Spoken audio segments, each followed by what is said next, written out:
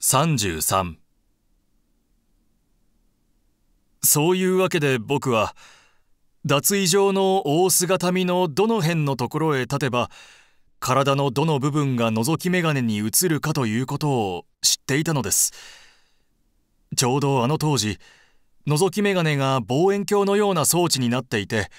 姿見の中央の部分だけが大きく映るのでしたね。僕は君の留守中に入浴者の裸体姿の大写しを盗み見たことがあります。そしておそらく君もそうだったのでしょうが僕はあの夢のような不気味な映像に一種異様の魅力を感じたのです。そればかりかもしあの水底のようによどんだ鏡の面に何かこう血生臭い光景が例えば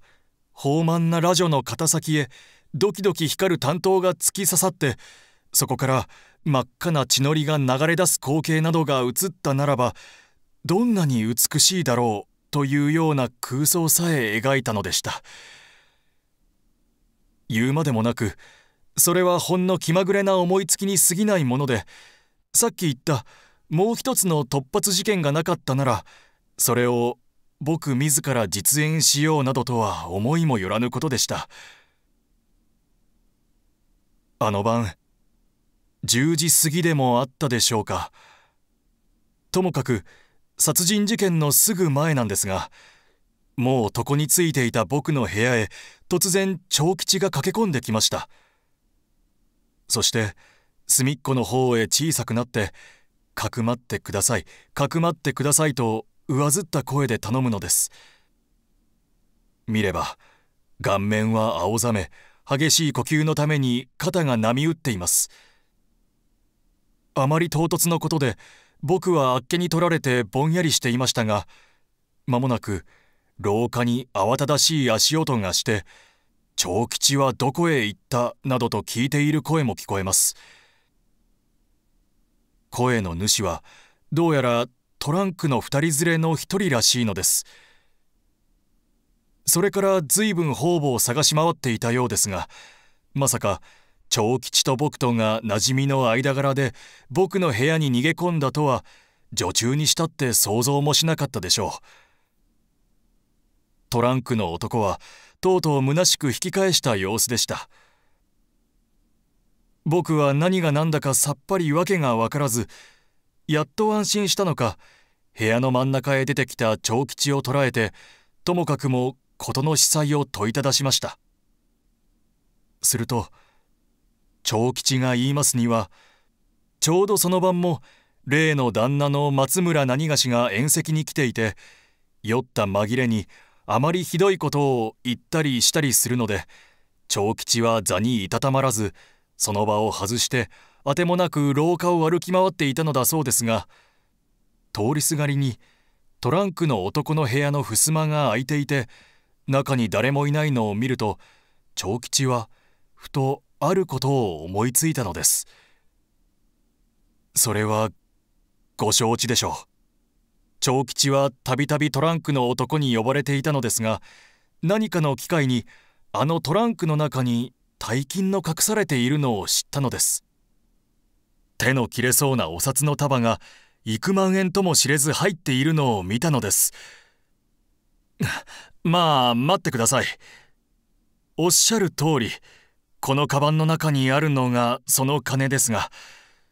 どうして私の手に入ったかはこれからおいおいお話ししますよ。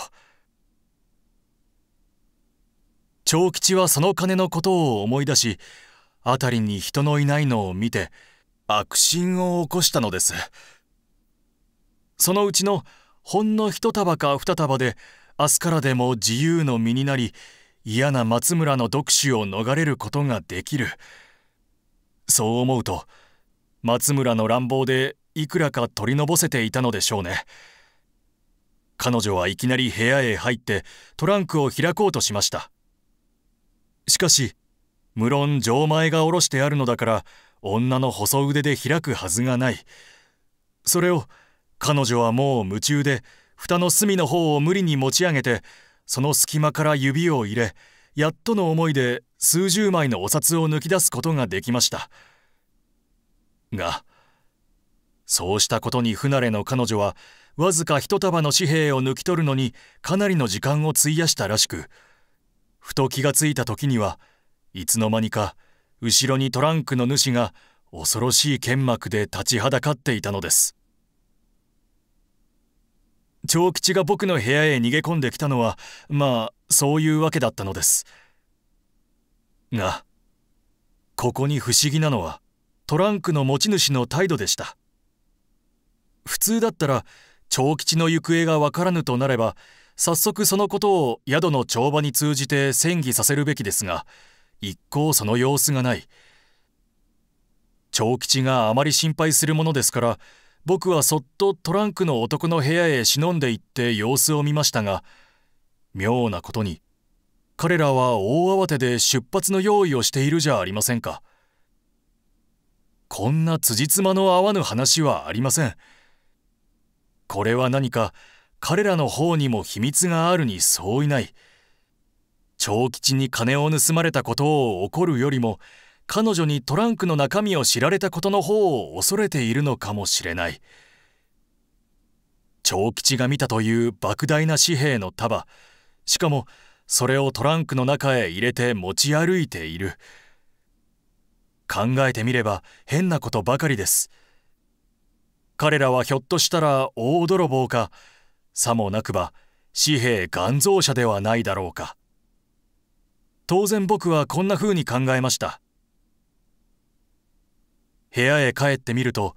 長吉はもう身も世もあらず泣き伏しています。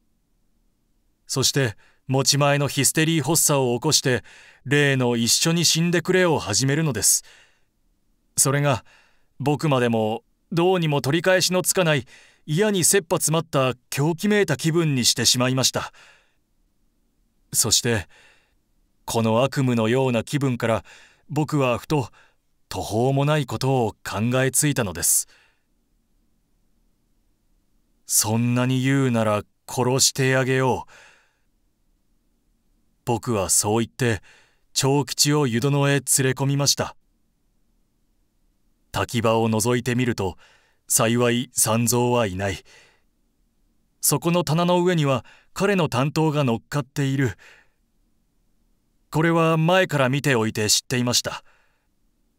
でご承知の強行が演じられたわけなんです。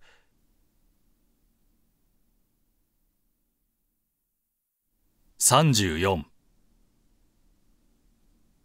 そういう際ながら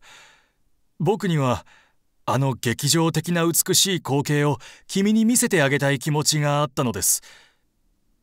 ひょっとしたら長吉を逃がすことよりもその方が主な動機だったかもしれませんよ。しかしちょうどその時君が眼鏡を覗いていてくれたかどうかもし覗いていなかったとするとせっかくのお芝居が何の甲斐もないことになります。そこで僕はもっと現実的な証拠として前もって脱衣場の板の間に血を流しておくことを考えつきました。でもこれとても本当に気まぐれなお芝居気たっぷりなとっさの思いつきに過ぎなかったのです。僕はある旅先で友達から注射器をもらっていました。僕の癖としてそういう医療機械などに言うに言われぬ愛着を感じるのですね。おもちゃのようにしょっちゅう持ち歩いていたのですよ。でその注射器によって長吉の腕からと私の腕からと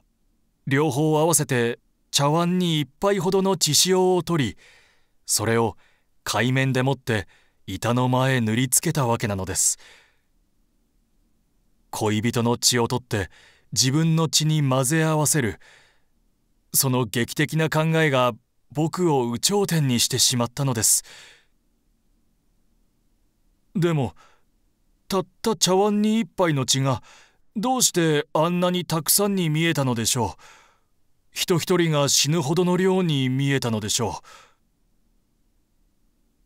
う。私は思わず口を挟みました。そこですよ。河野はいくらか得意らしく答えました。それはただ拭き取るのと塗り広げるのとの相違です。誰にしてもまさか血潮を塗り広げたものがあろうとは考えませんからね。拭き取ったとすればあれだけの痕跡は確かに人一人殺すに足る分量ですよ。ところが本当はさも拭き取った後らしく見せかけてその実できるだけ広く塗り回したのです。商売の絵心でもって柱や壁のとばっちりまでごく念入りにこしらえ上げ余ったのを担当の先に塗りつけて例のブリキ箱に入れておいたのです。無論長吉はその場から逃がしてやりました。彼女にしては泥棒の汚名を切るか自由の身になるかの瀬戸際ですから怖がっている場合ではありません。山伝いに闇に紛れて Y 町とは反対の方へ走りました。無論落ち着く先はちゃんと申し合わせてあったのです。私はあまりやっけない事実にいくらかがっかりしないではいられませんでした。しかし疑問はこれですっかり解けたのでしょうか。いやいやあれが単なるお芝居であったとするとますます不可解な点が出てきます。それじゃあ例の人間を焼く匂いはどこから来たのでしょう？私は請求に問いかけました。また三蔵はどうして変死を遂げたのでしょう？そしてそれがなぜ君の責任なのかどうもよくわかりませんね。今お話ししますよ。河野は沈んだ調子で続けました。それからあとは君も大概ご承知の通りです。幸いトランクの男が想像にたがわず何かの犯罪者であったと見え夜のうちに姿をくらましあれほど探しても行方がわからないものですから僕のお芝居が一層本当らしく見え被害者長吉加害者トランクの男と決めてしまって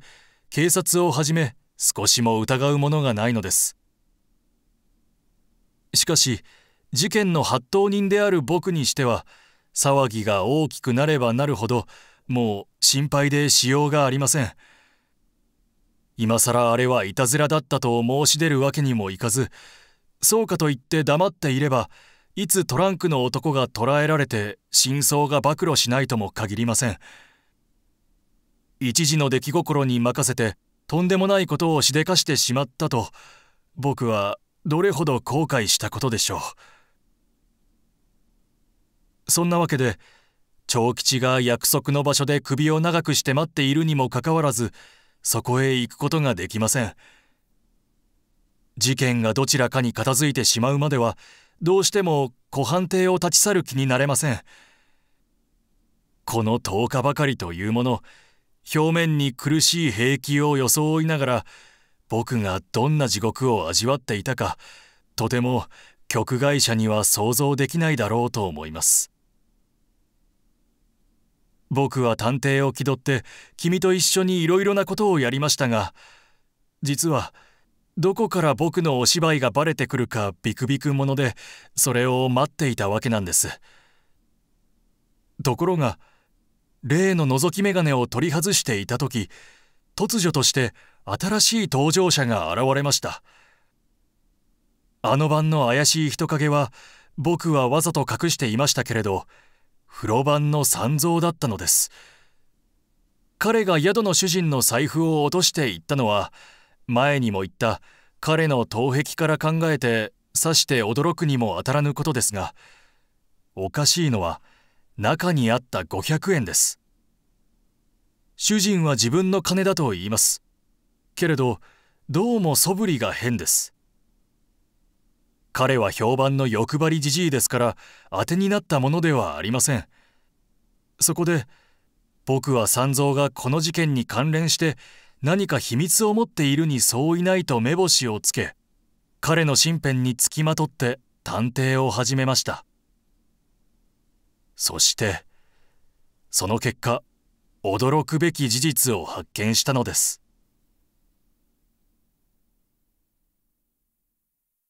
35三蔵は例の大トランクを2つともどこから拾ってきたのか滝場の石炭の中に隠していたのです。トランクの男たちは多分目印にされることを恐れてトランクを山の中に隠し身をもって逃げ去ったのでしょうが三蔵はそれを見ていたのかもしれません。あるいは後になって森の中へ枯れ枝を集めに行った時に偶然発見したのかもしれません。ともかく中身の莫大な紙幣もろとも彼はトランクを盗んでいたのです。これであの財布の中の500円も解釈がつくわけですね。しかしトランクの持ち主がたとえ気球の際であったとはいえあの大金を惜しげもなく捨てていったというのは少々変です。やっぱり願蔵紙幣だったのでしょうか。それとも後日取りに来るつもりで人目につかぬところへうずめてでも置いたのでしょうか。あの大風の晩に懐中電灯で森の中を探し回っていた男はひょっとしたら彼らの命を受けてトランクを探しに来た一味のものだったかもしれませんね。事件はだんだん複雑になってきました。どうなることか少しも見当がつきません。僕の向こう見ずないたずらがこのような大事件になろうとは全く予想外でしたがって心配はますます強くなるばかりです。ところが45日以前警察の大掛かりなトランク捜索が始まる頃には三蔵も自分の仕業に恐れを抱き始めました。そしてその唯一の証拠品であるトランクを風呂かまどで焼くことを思いつきました。人の寝静まった頃を見計らいトランクを壊しては少しずつ焼き捨てていくのです。僕は現にそれを隙見していたのですがまさか対岸の村まで重火の匂いが漂っていこうとは思いませんでした。言うまでもなくこれが死体を焼く匂いと間違えられたわけです。僕はかつて外国にもこれと似た事件のあったことを聞いています。何でも田舎の一軒家の煙突から盛んに黒煙が出て火葬場の匂いがするものですから村人が騒ぎ出してっきり死体を焼いているものと思って調べてみると兄計らんや古靴かなんかをストーブに投げ込んだものと分かりました。その家の主人がある殺人事件の嫌疑者だったためにとんだ騒ぎになったのです。しかし僕はその当時そこまで考えたわけではありません。ただもう途方に暮れてしまったのです。もしこの愚か者の軽挙から事の真相がバレるようなことがあってはとそれがまず心配でした。で少しでも発覚を遅らせる意味で僕は三蔵を逃亡させようと図りました。警察で彼を疑い出したことをそれとなくほのめかし彼を怖がらせたのです。悪人にしろそこは愚か者のことです。僕の計画を見破るどころかトランクを盗んだということから直ちに殺人の嫌疑までかけられるものと思い込みちょうど村の巡査が僕を訪ねてきた日です。彼は例の紙幣の束だけを風呂敷包みにして彼の故郷である山の奥へと逃げ出したのです。僕は計画がまんまと成功したのを喜びむしろ彼を護衛するような心持ちでその後を尾行しました。ところがその途中あの参道のところで思いがけぬ出来事が起こったのです。あまりに道を急いだために三蔵は崖から滑り落ちて変死を遂げてしまったのです。僕は大急ぎで下に降りて介抱してみましたがもはや蘇生の見込みはありません。考えてみればかわいそうな男です。悪人といってもそれは彼の白痴と同様彼自身にはどうすることもできない生まれつきだったのでしょう。それを僕の利己的な気持ちから逃亡を進めたばかりに彼はもっと生きられた命を儚く落としてしまったのです。僕は非常な罪を犯したような気がして無残な死骸を静止するに絶えずともかく紙幣の風呂敷包みだけを拾って急を知らせるために宿へ引き返しました。ところがその途中僕はふとある妙案を思いついたのです。三蔵はかわいそうだとはいえもう死んでしまったものだ。もし全ての罪を彼に着せることができたなら長吉はいつまでも死んだ者として全く自由な一生を送ることができしたがって自分も最初無双したような幸福を味わいうるではないか。それには幸い担当といい手の甲の筋といい三蔵の日頃の頭壁といい都合のよいことが揃っている。そこで僕はにわかに三蔵の変死を知らせることを中止して彼に罪をなすりつける理屈を考え始めたものです。ちょうどそこへ村の巡査が例の匂いのことを知らせてくれました。すっかり陣立てが出来上がったのです。僕は巡査と君の前で考えておいた理屈を陳述すればいいのでした。紙幣はちょっと見たのでは肝臓かどうかは分かりません。もし本物であったら僕は一躍大金持ちになることができます。そんな欲心からお恥ずかしいことですがつい焼き捨てるのが惜しくなりともかくもカバンの底に収めておいたものです。それを君に見られてしまいこのまま別れてはどうしたことで君の口から真相がばれないものでもなくいっそ本当のことを白状してしまった方が安全だと思ったものですからこうしてお引き止めしたわけです。つまりこの事件には犯罪というほどのものは一つもなく長吉のヒステリーと僕の気まぐれから出発していくつもの偶然が重なり合い非常な血生臭い大犯罪らしいものが出来上がってしまったのです。河野はため息とともに長物語を終わりました。私は裏面の事実の意外さにしばらくは物を言うこともできませんでした。そういうわけですからどうかこのことは君の腹だけに収めて誰にも話さないでください。もしこれがバレて元の雇い主に呼び戻されるようなことがあれば長吉はきっと生きてはいないでしょう。僕も世間に顔向けのできないことになります。どうかこの僕の願いを聞き入れてください。誰にも話さないと誓ってください。承知しました。私は河野の態度に引き入れられさも沈痛な調子で答えました。決して他言しません。どうかご安心ください。そして一刻も早く長吉のいるところへ行ってあの人をも安心させてあげてください。僕は陰ながらお二人の幸福を祈っています。そして私は一種の感激を持って河野と別れを告げたのです。河野は私の汽車の出るのを感謝を込めた眼差しで長い間見送ってくれました。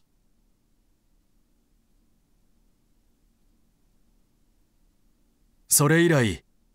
私は彼らを見ません。河野とは23度文通はしましたけれど彼らの恋がどのような実を結んでいたかは知る由もないのです。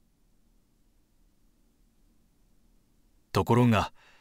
最近河野から珍しく長文の手紙を受け取りました。彼は長々と私の往年の行為を謝した上愛人長吉の死を告げ彼自身も友人の事業に関係して南洋のある島へ旅立つことを知らせてきたのです。その文面によれば彼はおそらく再び日本の土を踏むことはありますまい。もはや事件の真相を発表しても差し支えない時が来たのです。読者諸君以上で私の退屈なお話は終わりを告げました。例の莫大な紙幣が本物であったかどうかはつい聞く機会がありませんでしたがおそらく元蔵紙幣ではなかったかと思います。ただ一つここにある重大な疑問が残されています。私は河野に別れて以来日を降るにつれて色濃くなってくるその疑問に形容のできない悩ましさを感じ始めました。もし私の想像が当たっているとすれば私は憎むべき殺人者をゆえなく見逃したことになるのです。でも今はまだその疑いをあからさまに言うべき時期ではありません。河野は生きているのです。しかも彼はお国のために海外に出稼ぎをしているのです。数年前に死んでしまった愚か者の三蔵のゆえに何を好んで今さら犠牲者を出す必要がありましょう。